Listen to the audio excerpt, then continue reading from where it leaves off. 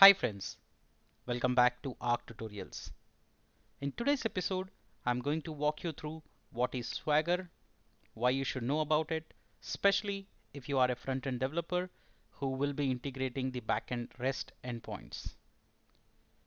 This episode will also help the backend developers to understand why it's important to use Swagger in your applications to document all your REST endpoints. Let's get started. So what is Swagger? Swagger is an open source API documentation framework.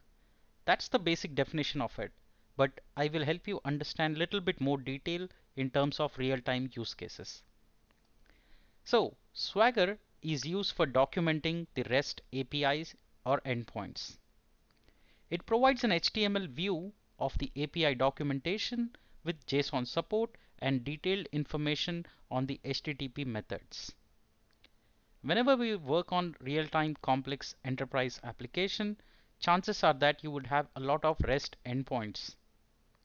Over a period of time, a lot of developers will develop the endpoints and it becomes easy to, if you expose them for integration, you might want to have good documentation so that it becomes easy for anybody who is trying to integrate those endpoints into the application. But why do we need API documentation? REST APIs or endpoints are basically designed to be used in some kind of an app. It can be a mobile application, it can be a web application. In most likely, the, the teams will have either backend API developers or full stack developer APIs who own those APIs. The front-end team will integrate the APIs into the application.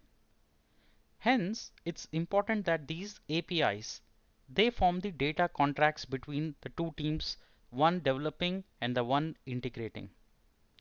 How would the team know what methods to call? What are the endpoints to call? What are the required data to pass?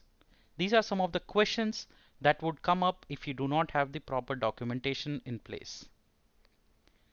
Some of the key information that Swagger documentation helps is in answering these questions like what are the endpoint URLs? What are the methods to be used when passing or calling those endpoints? What data needs to be passed to these endpoints? What are the mandatory and optional params to the endpoint?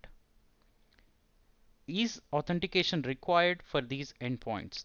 All of these answers are captured as part of your Swagger documentation. Using Swagger, we can create documentation for our APIs. We use Swagger UI to create a set of rules or specification for a format describing the REST APIs. Again, these rules can change from enterprise or company to company, but most likely they'll have standard format like exposing the endpoint, the method, the params that it takes, which are mandatory, which are optional. So it provides an easy way to share the API documentation among developers and product managers and QA teams. Without this documentation, it will become a really Herculean task to understand what the endpoints are and what they do. That's what I'm bringing you today. If you have any questions about Swagger, please do let me know in the comment section. I will try and help you. These are just introductory training tutorial just to introduce you to the concept of Swagger. Thank you so much for joining. I hope it helps you. Do let me know if you want me to cover more such videos. Thank you so much.